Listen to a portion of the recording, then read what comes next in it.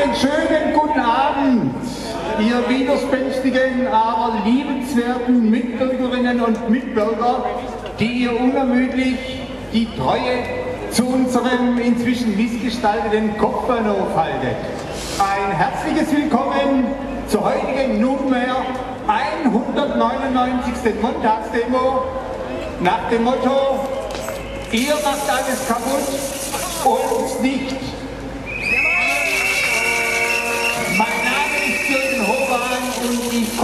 Kernen vom Verein Kern 21. Und zuerst mal eine Frage. Habt ihr das Musikstück soeben erkannt?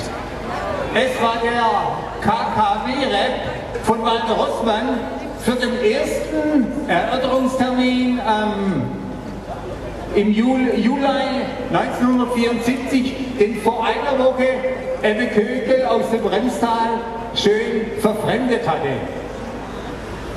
Aber nun steht schon wieder eine Jubiläumsdemo an, und zwar die 200. Montagsdemo in einer Woche. Nicht nur, dass wir diese Zahl an Montagsdemos erreichen, ist bemerkenswert, sondern unbedingt möchte ich diesmal auch auf unsere nicht mehr wegzudenkende Institution, die Mahnwache, hinweisen. Sie ist ein Bürgerinformationszentrum für alle Bürger dieser Region und es sind tagtäglich 365 Tage im Jahr unermüdliche Einzelfrauen und Einzelmänner im Einsatz, um rund um die Uhr den Bürgern Rede und Antwort zu stehen. Obwohl, das Zelt winterfest gemacht worden ist, spürt man schnell die klirrende Kälte, wenn man vor allem nachts einen stundenlangen Dienst macht. Ich meine, das ist doch wirklich einen von Herzen kommenden Sonderapplaus wert.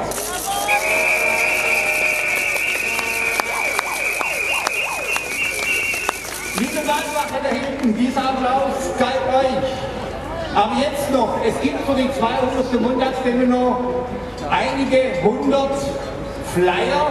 Bitte nehmt sie doch an den Infoständen und in der Mahnwache mit im Verteilziehen. Kistenweise bitte. Und dann noch etwas zu dem dritten und vierten Bürgerbegehren, das läuft. Bitte denkt daran, die Listen, auch wenn nur zwei, drei, vier drauf unterschrieben haben, unbedingt zurückzubringen. Dankeschön auch fürs Sammeln. Bevor wir nun zu unserem ersten Redebeitrag kommen, muss ich in eigener Sache etwas mitteilen. Derzeit läuft ja in Stuttgart, wie wir wissen, und nur in Stuttgart die Unterschriftensammlung zum dritten und vierten Bürgerbegehren.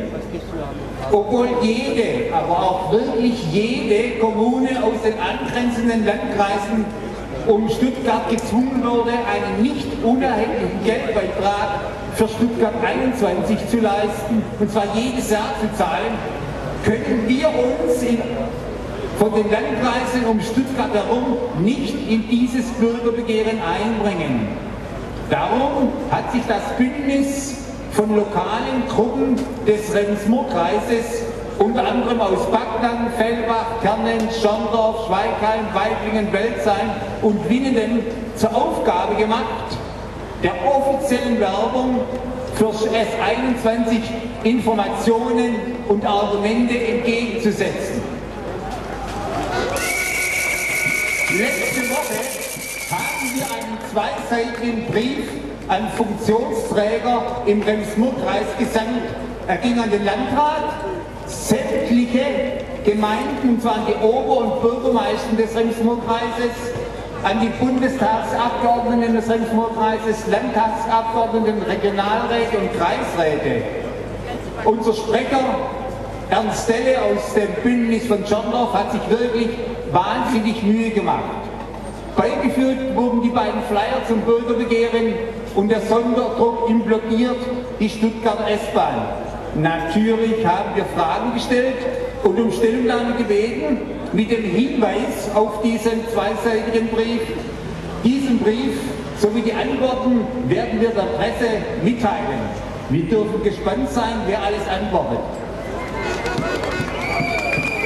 Nun aber zu unserem ersten Redebeitrag oder zwei Redebeiträgen. Auch in Mülheim und Breisach in Baden gibt es eine Montagsdemo, welche von Mitbürgern aus Baden und dem angrenzenden Elsass abgehalten wird. Es geht unter anderem um das AKW Fessenheim und die DB-Trasse Rheintalschiene.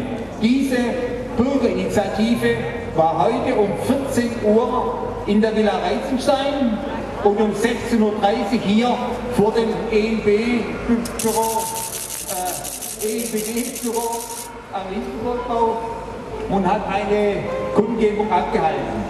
Nun begrüßen wir herzlich die Bürger aus, die Mitbürger aus dem Elsass und aus Baden und vor allem die beiden Redner Gabi Schwenk und Hans-Peter Engler.